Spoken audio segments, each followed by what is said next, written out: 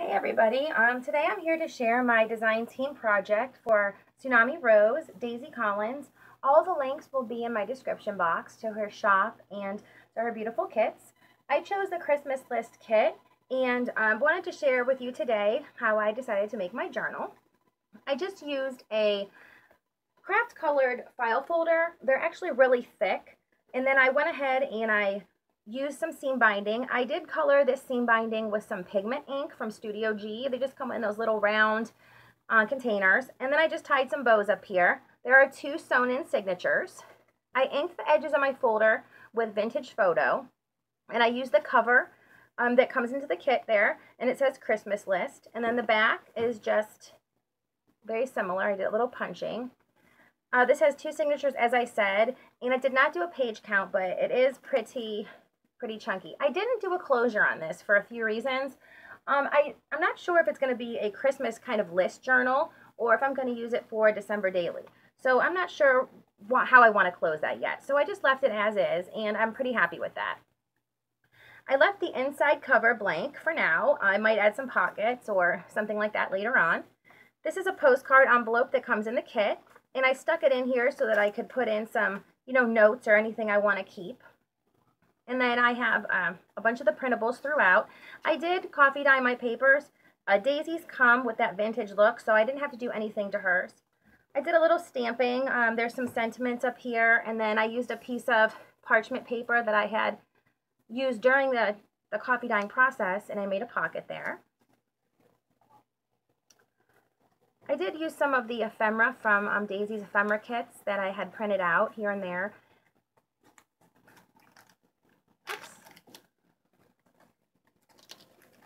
I just think these papers are really beautiful. I love, this was, um, I think, my favorite kit to date to work with.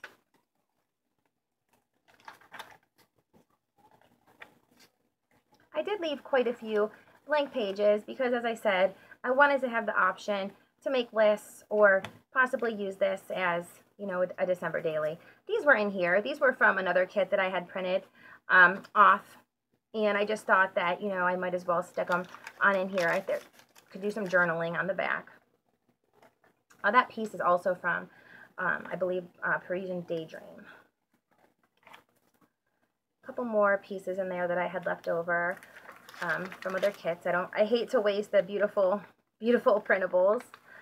Some ledger paper here, and I have a little tuck, and I just backed this with some craft cardstock to make it a little sturdier.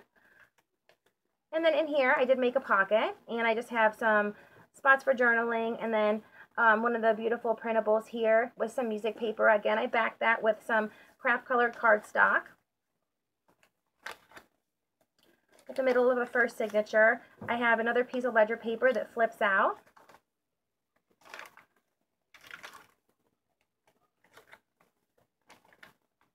And then here I um, have one of these bags, but I went ahead and put a printable here so that it made a pocket. And then of course you have the pocket from the actual bag. So it served as a double tuck.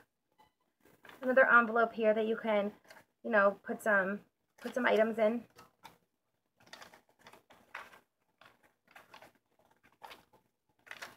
I'm not used to keeping my journals, you know, quite as bare, but I really wanted to have the option to write in this one. I find that sometimes I have them so full that I really don't have much room, you know, to do anything left. So I've really been trying to scale back on that. I really like how this turned out. Um, thought that was a really cool effect. It, it's like the blue from the actual notebook paper. It gets into the coffee there and it makes that really cool effect. These pages are just stunning.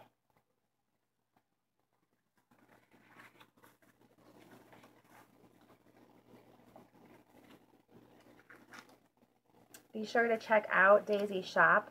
She just put a new kit in. Um, it was a tea party and desserts based kit, and it is amazing. I cannot wait to get my hands on that kit. so, you know, as I said, I'm going to put the links in my description box along with the, the links to Daisy's group and um, blog. So please be sure to check that out. Another kind of a double envelope deal here. I put the envelope in, I glued another envelope onto the front so that you could put stuff in here. and then also utilize this envelope. So I also used some more ephemera from Daisy's Beautiful Kits.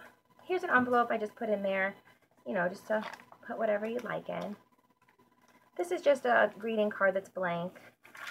Add some stuff in there. Another tuck with just some journaling paper. This is an envelope that I turned and I cut the top off of and I just put some coffee dyed journal paper in there as well.